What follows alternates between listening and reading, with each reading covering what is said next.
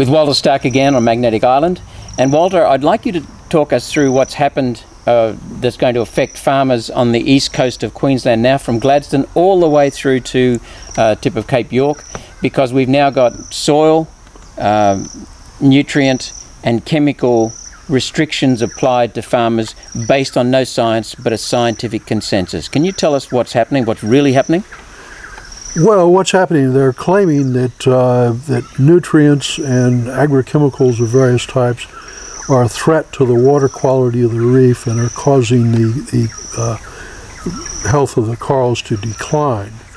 Now, there's no actual evidence for any of this. There's no actual evidence that for to well for a start, the actual use of, of nutrients, of fertilizers and agrochemicals has declined over recent years because they're expensive to use and farmers have have tried to minimize the amount that, that they use. So the actual amount has gone down from what it was, say, three decades ago when we didn't think it was any problem.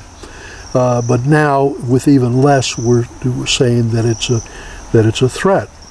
The other thing is that if we actually try to measure these things, the uh, nutrients, we can't measure them on the reef because they aren't there. You've actually tried. I mean, there have been research studies trying oh, yeah. to measure them. They're yeah. just not at the level yeah. that can be measured. No. They're non-existent. Yeah, they're basically not, non-existent. There is a natural level of nutrients in the environment, and that's there, but, but that hasn't increased.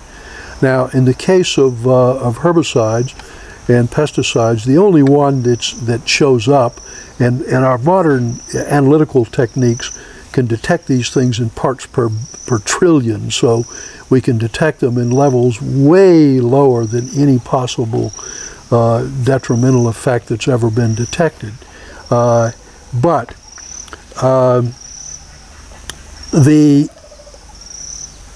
the levels that are that are present of the diuron are far below any levels that are known to be to be of any harm, and that's only right at the mouths of rivers. So the only the uh, diuron is the only one they can trace, the only one they can measure so far. The others are so low that they're not non-existent, yeah. and that is only measured in river mouths, and outside of that, it's non-existent. Yes, and in those river mouths, the actual fresh water coming down, especially in, in wet season, is far more toxic to the marine life than any sediment or any uh, yeah.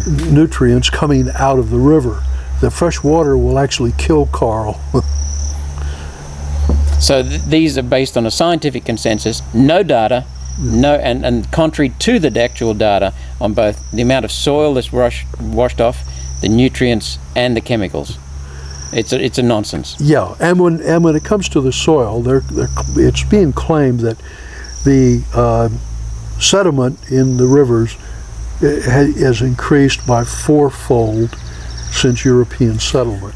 Now, there's no measurements whatsoever to show that, and in fact, if you look at the areas where there are crops that have been cleared and crops put in, or pasturage where improved pasturage have, has been uh, planted, the water running off of that in the wet season is actually clearer and cleaner than the water running off the natural native vegetation.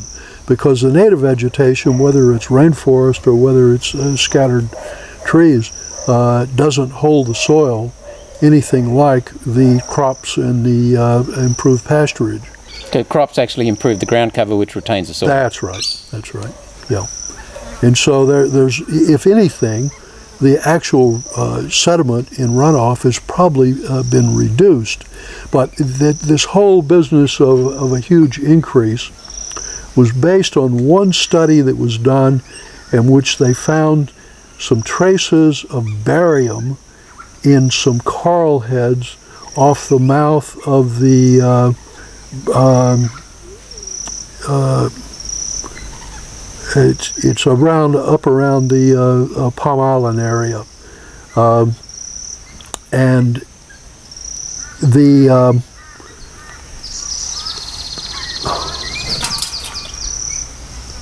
the level of barium has sometimes been used as an indicator because it, it comes from, from sediments, from, from land, from washing away of land things. But it's also in the marine environment, of course, because sediments have been washing in from the land for millions of years.